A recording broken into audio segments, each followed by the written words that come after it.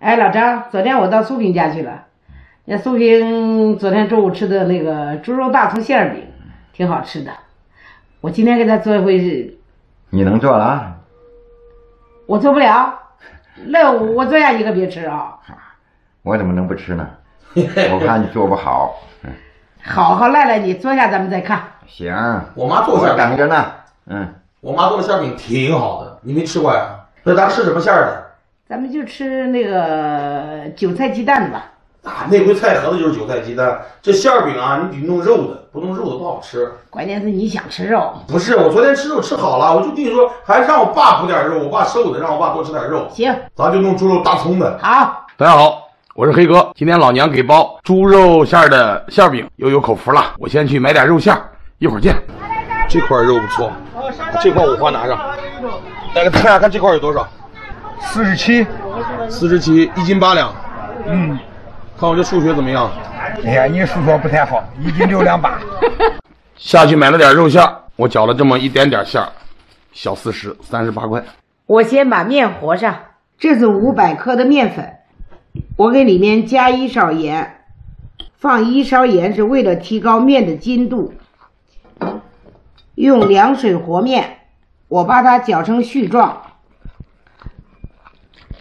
这个面要和馅饼要和的软，面已经搅成絮状，我现在开始下手和面，包馅饼的面。一定要和软，面已经揉光了，还有最关键的一步，手蘸上少许水，把面炸得更软点儿。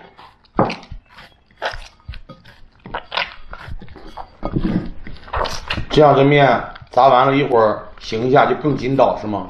对洒水。对，面揉到这种程度就可以了，盖上盖子，让它醒一个小时。儿子把肉买回来了，我把馅儿调一下。妈，这块肉怎么样？你看看。好，肉很好。我现在把调料往里面搁放一下，放三勺五香粉，放三勺咸盐，三勺盐少吧，妈，咱这个勺子小，对，我感觉得放四五勺。三勺的，那放上五勺吧。一会儿菜里面就葱里面就不放盐了，对，馅饼还是做的有点味儿，盐还是出味儿。肉里面倒点熟油，哎呦，倒这么多呀，妈！拌馅儿呢嘛，这馅吃不完，一次吃不完，再倒点老抽。好嘞，我把它拌一下，搅，搅肉要顺着一个方向搅。再一个，肉搅好以后，这个筷子插进去不倒，就是馅拌的正合适。肉已经调好了，我现在切点葱和姜。我现在把姜切成姜末，这一个大姜全得放上呀，吗。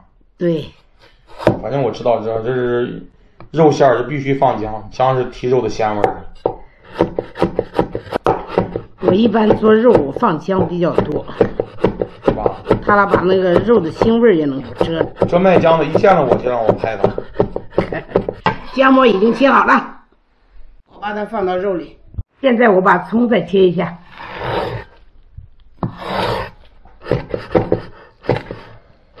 葱切完了，我把葱和姜、肉拌匀，肉馅已经调好了，面已经醒好了，我现在开始包馅饼。我把醒好的面拿出来。把它揉成长条状。这案板上是抹油了嘛，是吗？对不抹油，它这个面也要粘有点儿，因为面软。对，相当软。我把它切成相等的小剂子。现在我开始包馅饼。这包馅饼就跟包包子一样的手法，是不是嘛？是。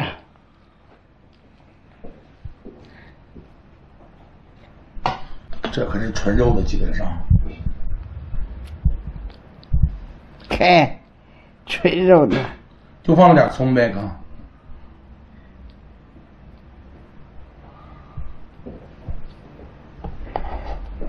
这个就这就是包好了吗？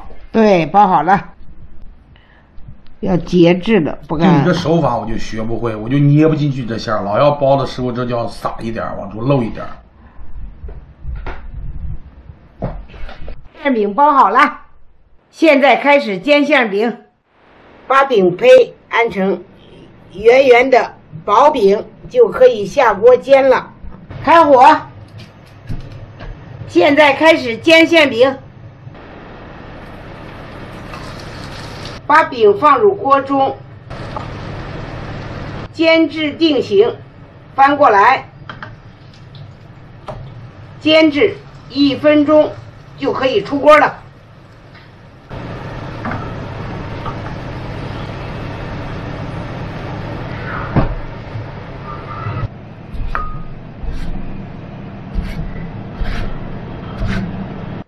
老妈今天给做的馅儿饼，配点这陕西的辣椒油，配点老陈醋，我又包了一点儿我妈腌的糖蒜，准备开动了。爸，你看我妈烙烙的这馅饼怎么样？你不是说不行吗？你不是说我妈不会烙吗？你吃，你吃，你吃吗？味儿挺好。就是猪肉和大葱，别的什么也没放。看这馅饼，这皮儿多薄，看轻轻一包就漏了。这个馅儿饼你要醋吗？不用，这是上面浇点醋，特别好吃。这饼要是在那个卖羊的饼的，得四块钱一个。呀，四块钱都买不下，好像现在那原价馅儿饼，牛肉的、猪肉的全是四，全是四块五还是五块钱呢？是吧？嗯，而且那饼的肉可没咱这多呀。连一半都没有。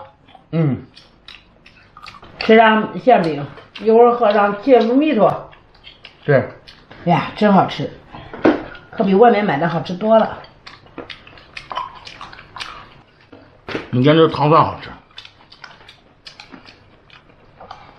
我这也忘了嘴疼了，那这边是烂的，还是上火。这个馅饼是不是也可以做起面的？也可以做起面的，也可以做。咱家一般吃东西，咱做什么饼一般都爱吃死面，死面的吃的有带劲儿，知道吗？好了，我 OK 了，我估计我也就能吃两个，我批准你吃两个。